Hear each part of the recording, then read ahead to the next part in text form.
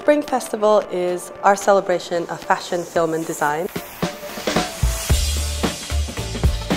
Tonight we have Putting on the Glitz, Fashion and Film in the Jazz Age, a talk with the fashion historian Amber Jane Butchart and editor and blogger of Clothes on Film, Christopher Laverty. We're going to put on the glitz and we're getting dressed up to hear my talk, which is about Boardwalk Empire and a dandy gangster style clothing that these men wore. And Amber will be discussing jazz age fashion, I believe, and its effect on the movies and vice versa. I think a lot of people that are interested in vintage fashion and old films are going to be here.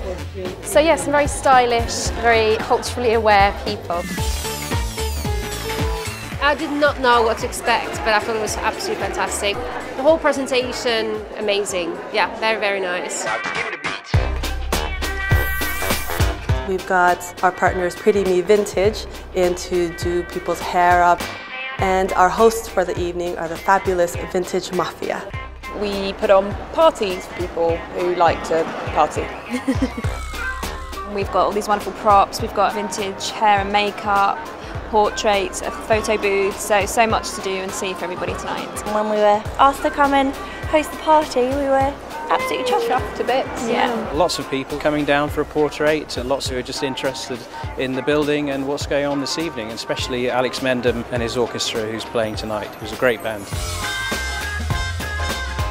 It's wonderful to be loud in a library. I think that's really fun. I think breaks all these rules.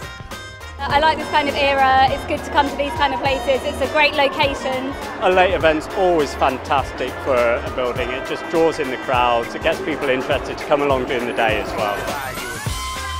It's really about bringing new people in, people who have never been to the library. This is, you know, a great chance for them to come in and just have a nosy and talk to others who have used the library as well.